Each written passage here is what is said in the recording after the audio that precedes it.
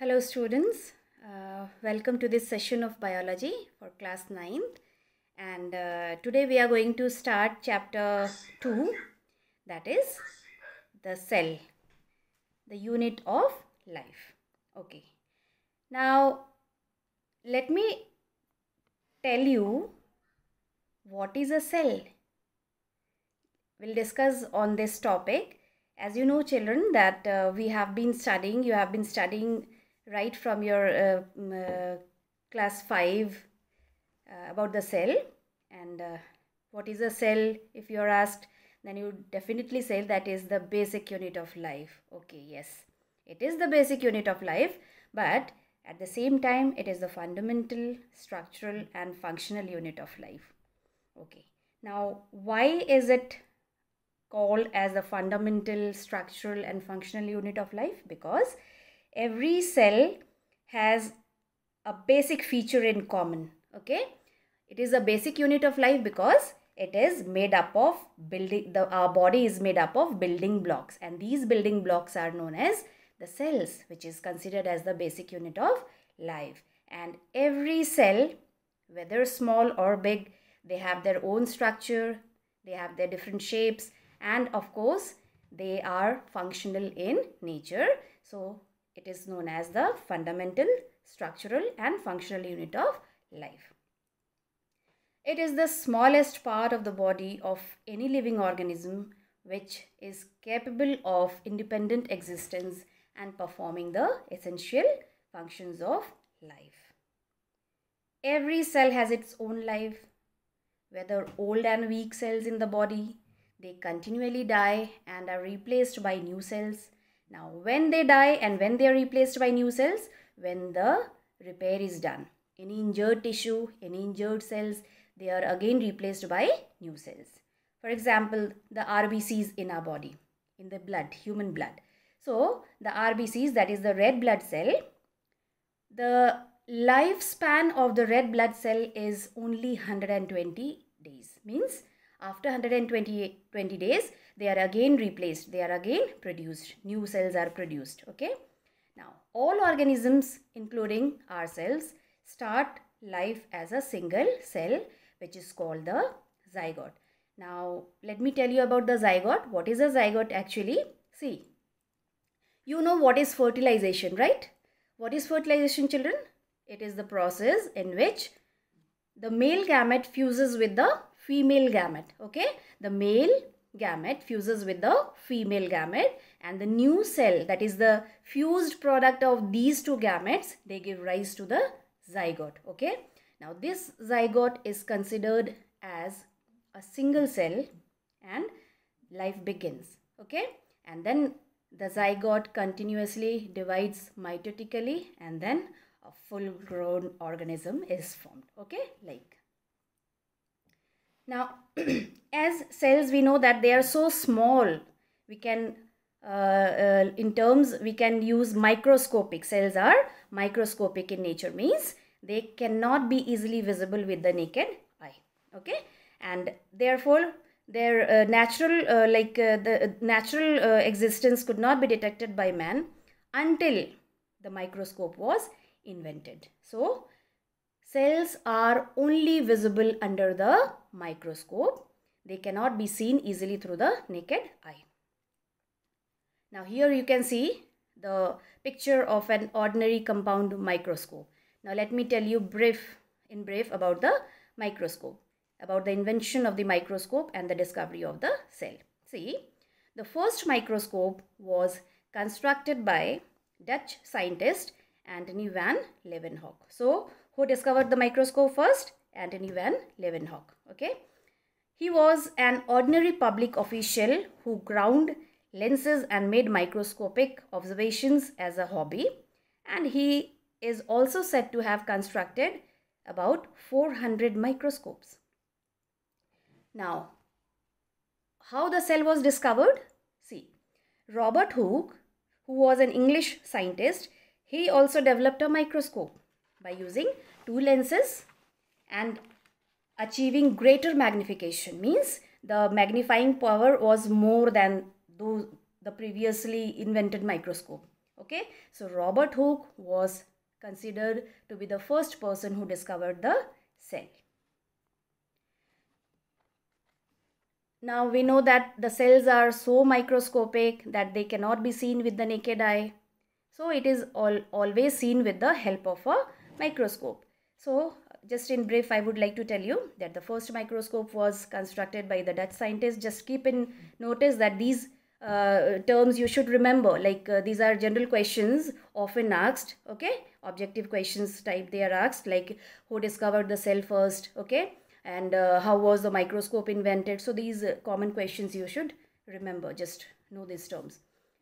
The like robert hooke who was an english scientist. Again i would like to tell you he developed a microscope by using two lenses for achieving greater magnification. And these microscopes were later known as compound microscope which uh, where the figure which you just uh, saw previously you that is the compound microscope. Now next comes the cell theory. Microscopes are invented the cells are invented. Now comes the cell theory means something we should know more about the cell apart from the basic unit of life okay now according to the cell theory all animals and plants are composed of cells which serves as the units of structure and function. Now, cell theory was proposed by Matthias Schleiden and Theodor Schwann in the year 1839. So, according to this cell theory, it states three major points.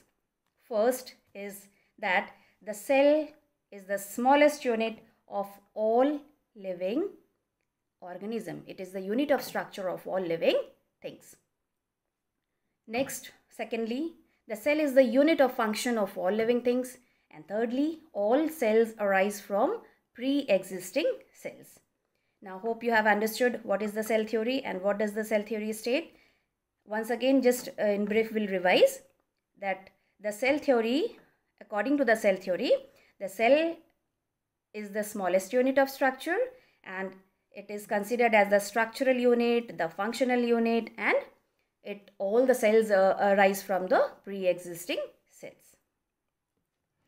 Now next we come uh, to uh, uh, will know more about the cells like how numerous and how small the cells are.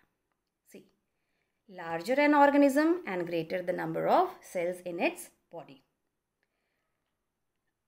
Uh, some cells are single cell which is also known as unicellular okay like the cells of the bacteria the cells of paramecium, yeast, amoeba, etc.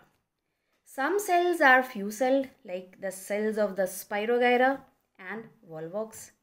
Some are multi-celled which are also known as the multicellular like those of human beings and any any other organism you can take for example plants in the plants you take the mango tree okay now some interesting facts are there do you know this see the smallest cells are the bacterial cells.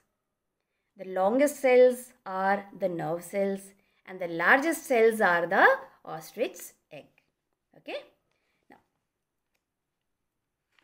the now comes the cell shapes to suit functional requirement. Cells vary greatly in shape. The, there, there, there may be different shapes of the cells. Okay. Some are disc-like, some are polygonal, some are cuboidal, some are thread-like, some are branched or even irregular. Okay, they, they all are the different uh, categories of cells, they have their own different shapes according to their function, according to their position and according to, to their location in the body of an organism. Okay. Now see these shapes of the cells are often related to different functions they perform. Just I told you now. Few examples of these types of cells are epithelial cells, where they are they are in the human beings okay human body we find the epithelial cells the animals basically the animals body then comes the human blood cells the cartilage cells the nerve cells the bone cells amoeba and paramecium and also the chlamydomonas. Okay. Now why these cells i'm telling you? Because they have different shapes. They have got their own structure okay according to their functions and their locations. Now here you can see the different shapes of the cells, the different kinds of the cells with their own shapes, the different kinds of shapes you can see here. Like the epithelial cells okay? Then comes the human blood cells then the cartilage cells the connective tissue cells the striated muscle fiber the nerve cells the bone cells the smooth muscle cells. We have also taken the picture of the plant cell the cells of the chlamydomonas you can see on the screen you can see the amoeba okay? Hope amoeba is very common no? Like whenever the questions are asked that uh, name any two unicellular organisms then the common answer the straightforward the direct answer comes amoeba paramecium bacteria. So all these figures we have taken and it is shown here on the screen okay? And then the guard cells are also there now. I'll tell you more about them later on okay? In the next coming videos and all.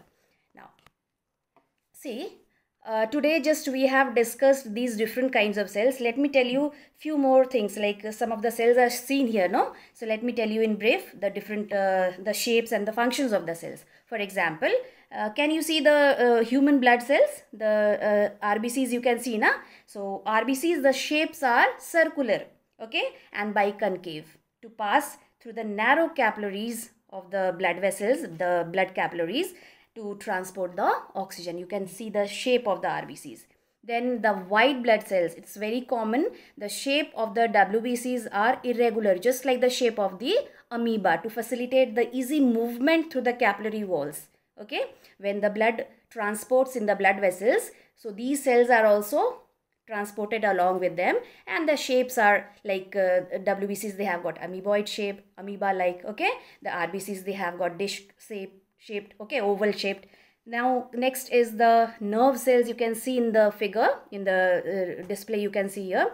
The nerve cells are the longest cells. Earlier also i told you why they are longest because they their main function is to conduct the impulses from distant parts of the body to the brain and vice versa. Since they are the main functional unit of the nervous system okay so they are the longest cell and their shape is thread like Next, the muscle cell you can see here. Right in the center you can see the bones, the muscle cell here.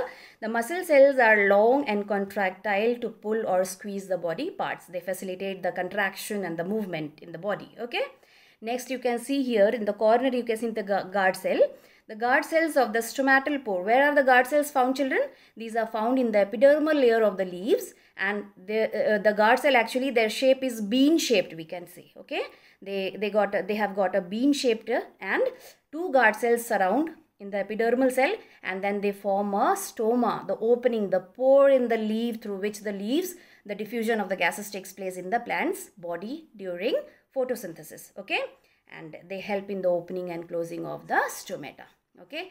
So uh, today uh, i'll end here and uh, hope you you you will you'll like it. Okay? So these are the basic things you should know okay about the cells and then later on we'll move slowly slowly to different other like topics and all. So here we come to an end and in the next video we'll explain you more about this chapter okay? So have a nice day. Take a good care of yourself and stay safe